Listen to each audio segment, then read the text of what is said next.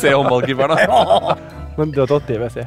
Det Jeg vil se. Yes. jeg vil ha nå Hvis det er noen som er tilknyttet et, et uh, eliteserielag i håndball, for menn eller damer, samme hva, så uh, ta kontakt. Vi vil gjerne ha Jon Martin som keeper i en trening.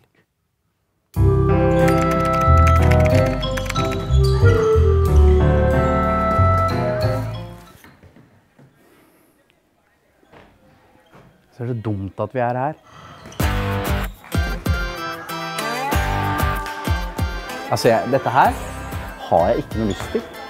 Sender ikke sjokkbølger gjennom verden og sier at det er første gang jeg har tatt på meg susp. Det har jeg ikke helt. For jo den klassa, da. Sitter ikke bra, den her, Ole.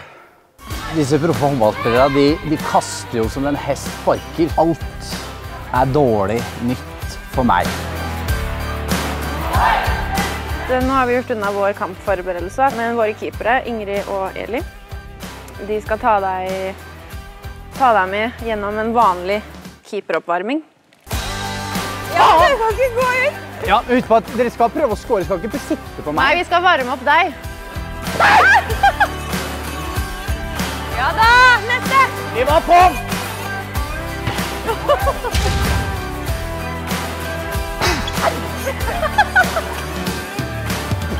kom igjen!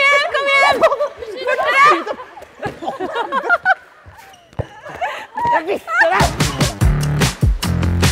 Dæven! Dæven!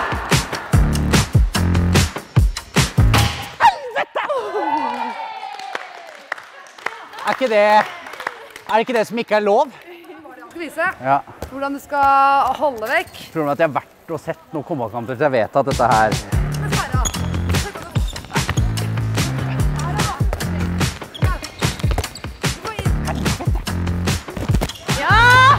Nei, det, ja, det er lettere sagt enn gjort, Heidi!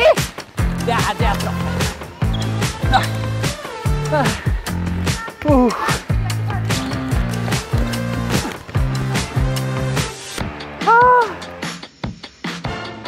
Vi holdt på i 28 minutter. Du, det er 28 minutter mer med håndball enn jeg har fra før. Ja, nei, eh, jeg syns jo han var altfor redd for ballen.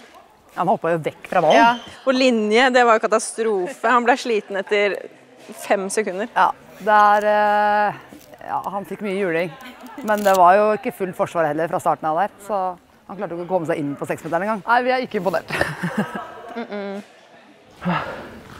Mats, du skal være hockeykeeper.